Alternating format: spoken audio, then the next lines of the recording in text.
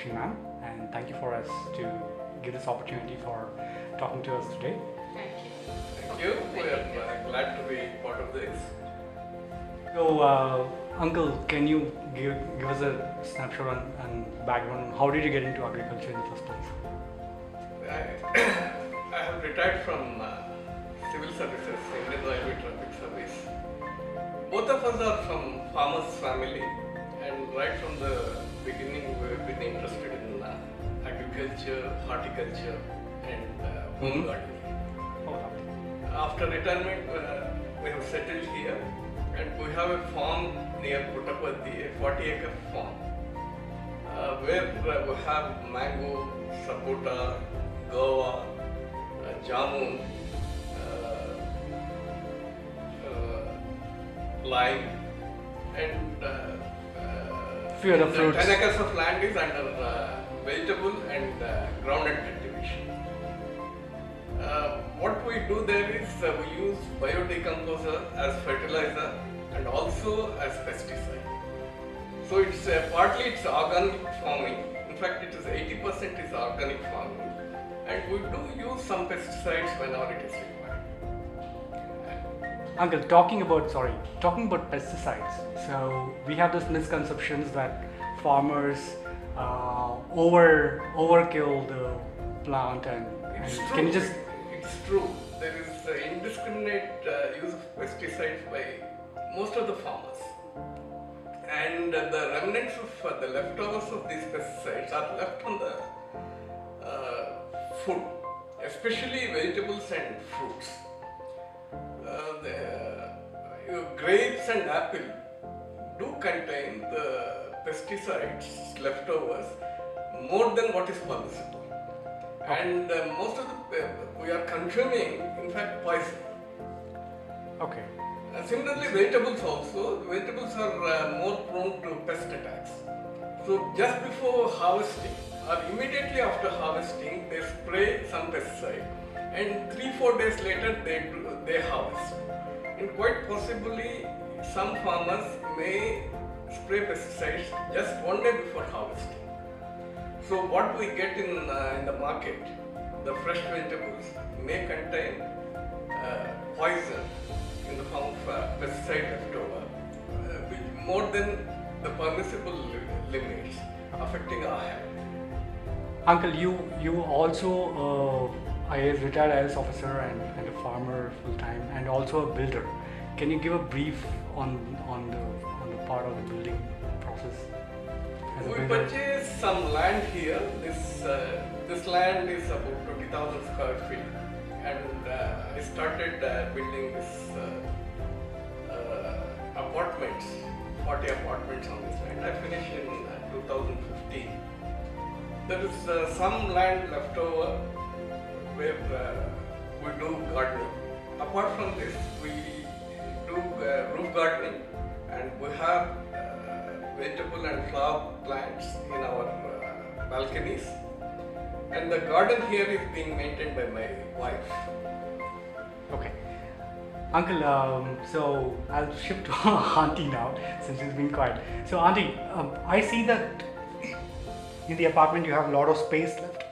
Yeah. Is there any specific reason for that? Rainwater harvesting can be done. And when we uh, grow plants, we have more oxygen, good for the environment. I think we do need open spaces in the apartments, not everything is cement. Uncle, since you are been as a builder, uh, so we see that uh, the lot, our Bangalore is, is, is growing up rapidly than ever before. So the builders who are there, uh, who, are, who are growing up right now, would you like to give some recommendations that what they could do better and they're considering as, as a colony to be built? First thing is they should stick to the plan sanctioned by BBMP. They should not uh, build beyond the, what is permitted by the corporation.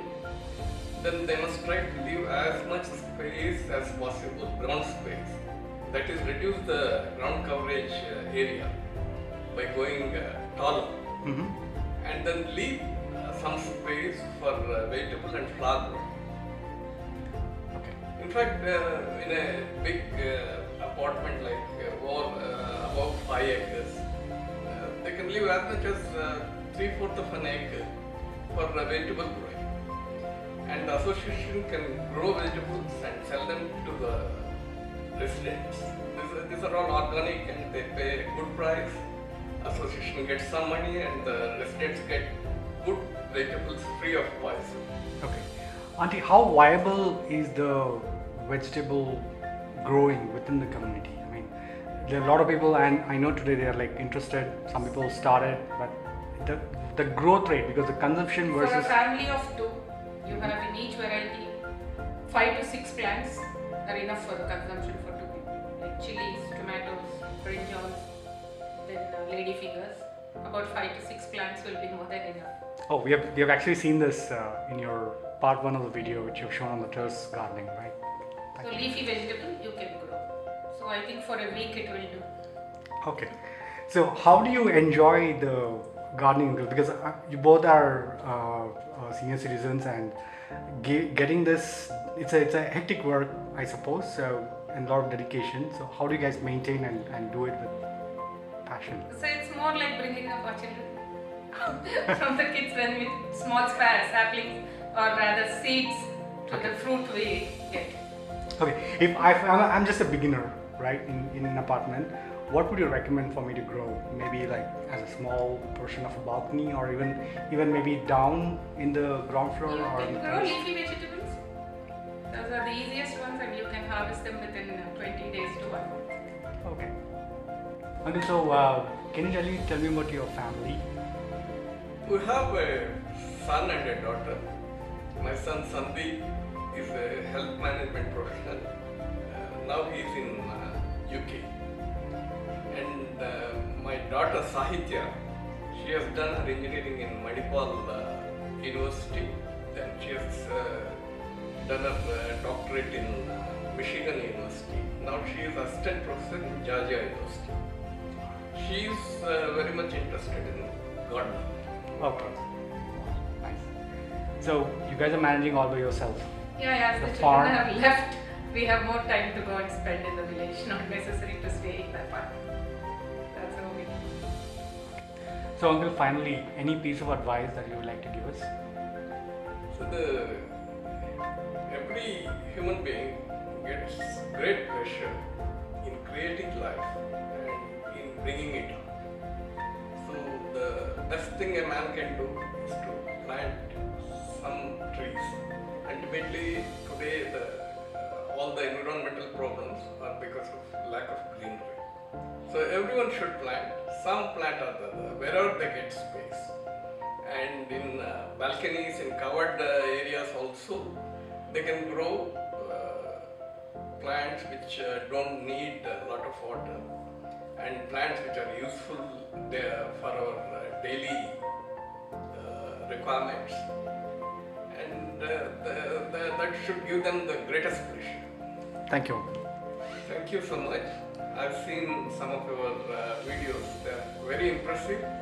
I would like to subscribe to your channel and I also request all others to subscribe to this channel and see all those useful videos and you get quite a bit of information from these videos. Thank you, Uncle.